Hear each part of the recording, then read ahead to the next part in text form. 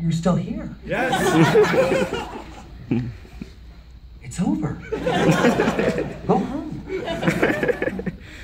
Oh, you're expecting a teaser for Deadpool 2. Well, we don't have that kind of money. You're expecting Sam Jackson show up with an eye patch and a saucy little leather undercoat.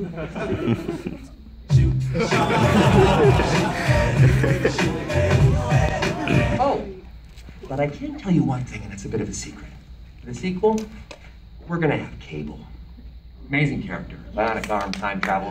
We have no idea who we're gonna cast yet, but it could be anybody. Just need a big guy with a flat top. Could be Mel Gibson, Dolph Lundgren, Keira Knightley. He's got range.